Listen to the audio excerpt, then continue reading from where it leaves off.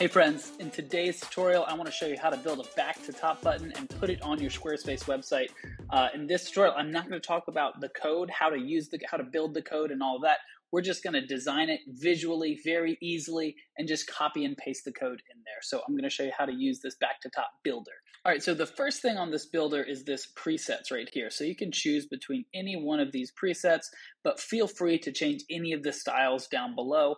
Uh, these presets just preset a couple of the styles, but you can change this however you want. So let's just go with maybe the arrow only, no text on there, um, and talk about some of these. I'm not going to go over all these because a lot of them are pretty self explanatory once you just start playing around. So just play around with it and see what they do.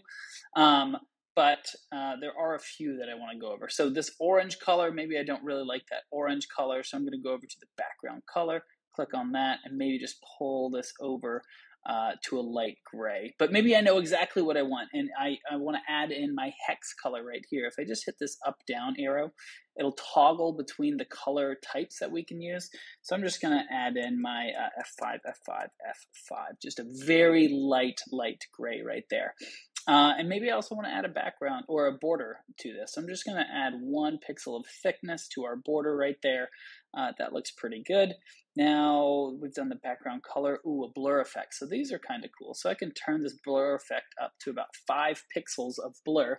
Um, but you'll notice nothing is changing there. And the blur effect only works if we have an opacity. So I'm going to drop this opacity down to about 25% right there. And as you scroll, you can see there's that nice little blur effect. Uh, last property, last style I want to show what it does over here is this show on scroll. Default is 0%, so it's always there at the very top of the screen.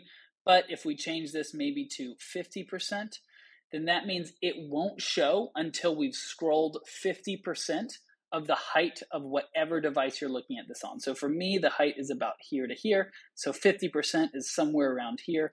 So once I've scrolled that far, it should pop up. So that is pretty good. And then it'll hide again once we scroll back up. So I actually only want this to show once I've scrolled just a little bit, maybe like 5% right there. So it just pops up immediately.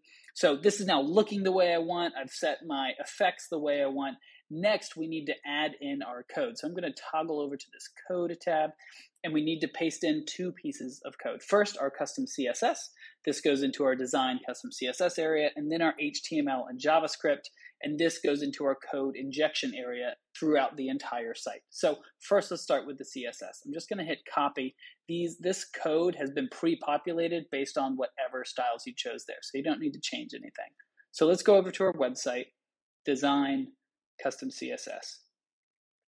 Just paste it in right there. That's it. Done. Now let's go back.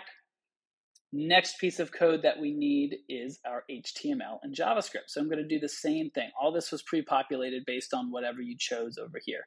So I'm going to hit copy, go back to our website. Let's go to our settings, advanced, code injection area. Now put this in the footer area right there. So I'm just going to paste that right there.